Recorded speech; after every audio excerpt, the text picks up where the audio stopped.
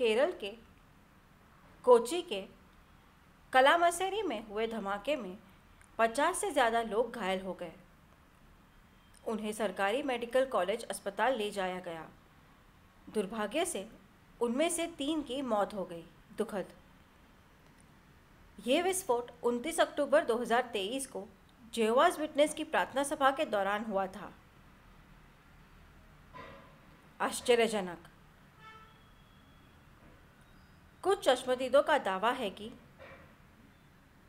एक ही जगह पर कुछ ही मिनटों के अंतर पर तीन धमाके हुए थे।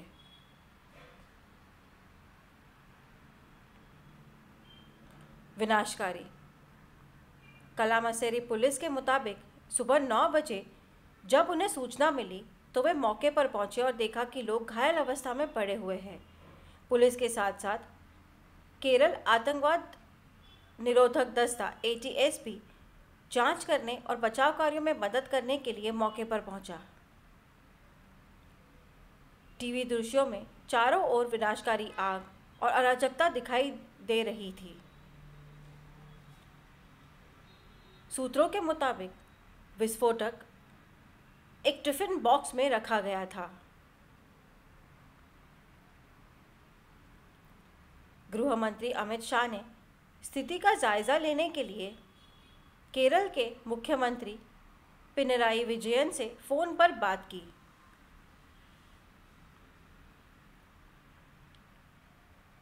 मुख्यमंत्री विजयन ने कहा कि वह खुद स्थिति पर करीब से नज़र रखे हैं और अपने आदिनोस्तों को से अपडेट ले रहे हैं। रविवार 29 अक्टूबर की शाम को एक व्यक्ति ने त्रिशूर पुलिस के सामने यह कहते हुए आत्मसमर्पण कर दिया कि वह विस्फोट के लिए जिम्मेदार है।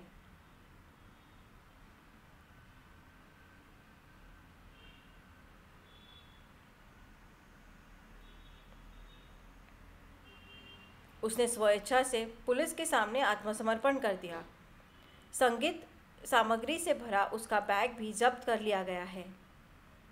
फ़िलहाल, उससे पूछताछ की जा रही है। उसकी पहचान 48 साल के डोमिनिक मार्टिन के तौर पर हुई है। पुलिस की पूछताछ जारी है। इस बीच, कन्नूर रेलवे स्टेशन पर जब पुलिस को एक आदमी के बैग में विस्फोट से संबंधित संगीत वस्तुएँ मिली तो उस व्यक्ति को हिरासत में ले लिया गया।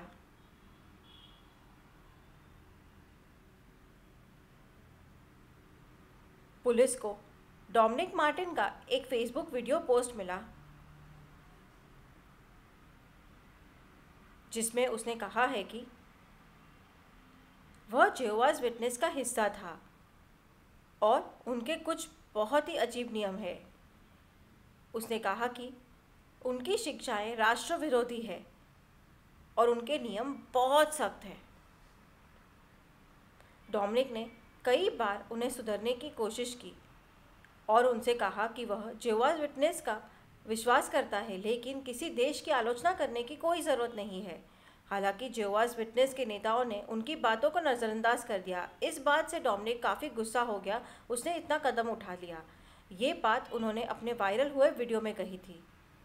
धमाकों के बाद दिल्ली और मुंबई में सुरक्षा बढ़ा दी गई है।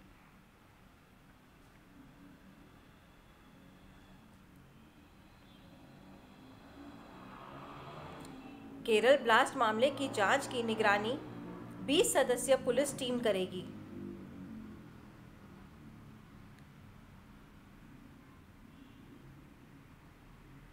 विस्फोट स्थल पर दिल्ली से राष्ट्रीय सुरक्षा गार्ड एनएसजी की टीम भी पहुँची।